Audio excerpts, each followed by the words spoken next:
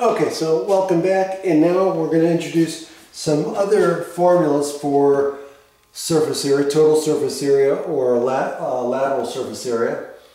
And so the first one is a sphere. The total surface area of a sphere is given by this formula, 4 times pi r squared. The lateral surface area of a cone is given by just the um, surface area of the side, um, which is given by pi rs, where r, of, of course, is always the radius, and s in this case is the slant height. Okay, so s represents the slant height. And so that's lateral surface area. Now, if you want total surface area of a cone, then it's lateral surface area plus the area of the base, which is just a circle, which then is just pi r squared. So we get lateral surface area, which is pi rs, and then the area of the base, which is pi r squared, and we add those together to get the total surface area. So let's do a couple of examples. So the first one is we want to find the surface area of a sphere that has a 90 centimeter diameter. Okay, now, so again, this is a radius, so the diameter is 45.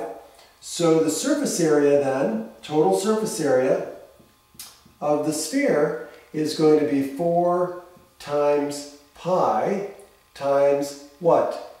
45 squared, right, times, times pi.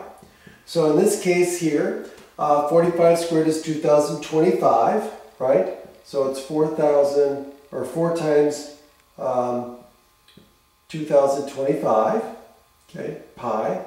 And of course, this is going to give us 8,000, um, oh, that's going to be 8,100, right?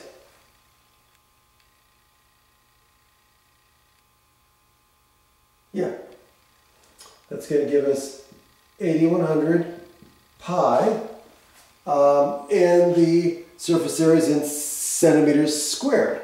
So the exact answer would be 8100 pi square centimeters.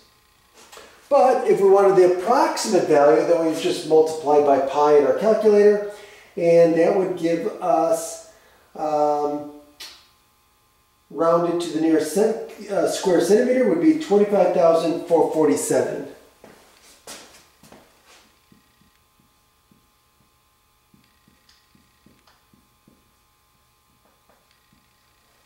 Okay. Now, next example is a cone with a diameter of 8 centimeters, a height of 6 centimeters, and a slant height of 7 centimeters. Okay? Now,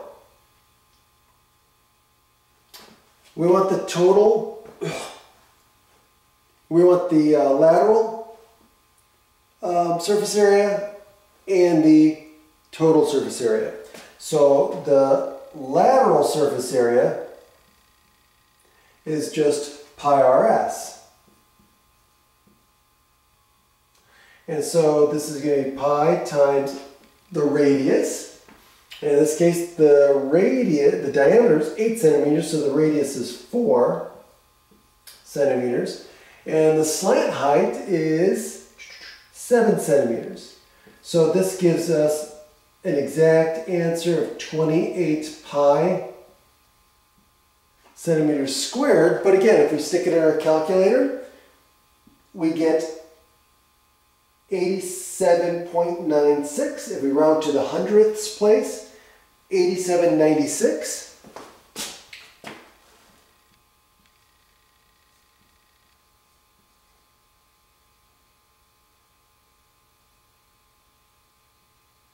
Okay, so 87.96 square centimeters is the lateral surface area. Now, what about the total surface area? Well, total surface area, again, is going to be the lateral surface area plus the base, right? So we know the lateral surface area is 28 pi plus the area of the base, which is a circle, and the base has a diameter of 8, so it's going to be pi r squared, so it's going to be um, pi times 4 squared right? That's it. So pi r squared. And so our exact answer for the total surface area would be 16 plus 28, which gives us 42. No, no, 44. Yeah, 44 pi, which is going to be approximately equal to, what do we get?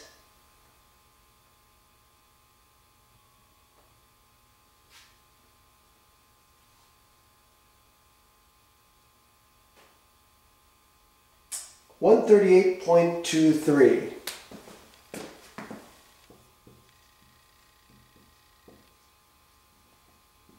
Square centimeters. Again, if we round to the nearest hundredth place. And that's it. Have a great day.